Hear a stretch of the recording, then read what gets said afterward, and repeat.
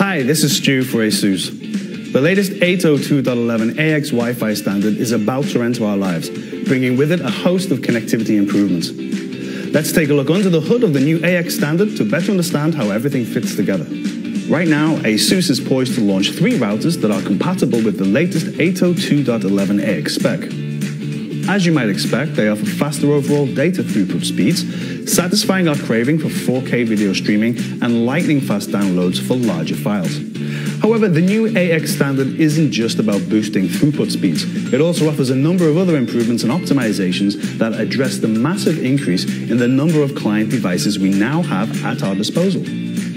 As you can imagine, in 2018, we are using more connected devices than ever before. A modern household today is estimated to have an average of around 10 Wi-Fi connected devices.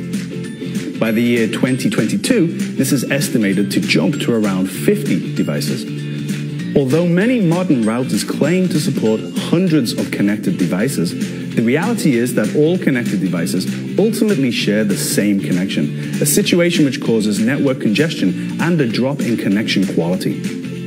The new 802.11ax standard addresses this issue head on, increasing Wi Fi network capacity to better serve the denser network environments we now live in. One crucial element in the battle to improve connectivity in dense environments is a technology known as orthogonal frequency division multiple access, or OFDMA for short. With previous standards, individual channels carried data designed for specific client devices. The problem is that each transition might cause wasted capacity. With OFDMA, the data channel is chopped up, so data from different devices can be bundled together to ensure no bandwidth is wasted. This means one channel can transmit data to several devices at the same time, thus improving efficiency and reducing latency. The 802.11ax standard also includes other features that further improve the Wi-Fi user experience. Wider coverage over larger distances due to the smaller subchannels used. Finally, we also have subtle changes that help improve battery life on client devices. Previously, connected devices remained awake while waiting for transmission, even if there was no data being sent. A new mechanism called target wait time allows transmissions to be scheduled, letting devices sleep for longer periods, delivering up to seven times better battery life. Okay, so when is all this happening?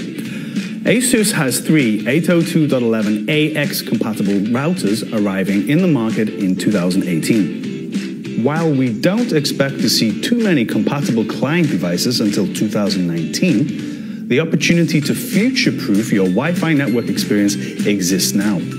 Most families and businesses upgrade to a new Wi Fi router every five years or so, which means that purchasing decisions made today could hugely affect your network performance in years to come. If you want to enjoy a faster, more reliable Wi Fi experience on your AX grade devices in the future, you should probably think about purchasing an AX standard router today. In short, ASUS AX compatible Wi Fi routers give you the best experience possible today while also preparing you for the next generation of wireless connectivity. Thanks for watching. Goodbye.